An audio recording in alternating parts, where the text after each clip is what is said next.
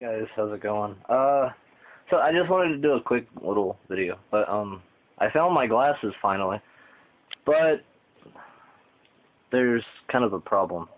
I don't know where the uh right earpiece is. It's broke. I mean, I, I'm sure you could see it even that close, but uh, yeah. So I mean, if I was to wear them, it'd kind of look like that, and so no, it's really not worth it. Plus, the lenses they're scratched and uh quite frankly. I don't know. Uh, I need new glasses. Whoa, sorry, the camera's kind of tilted, but yeah, found them. Can't really wear them unless I go around like this all day.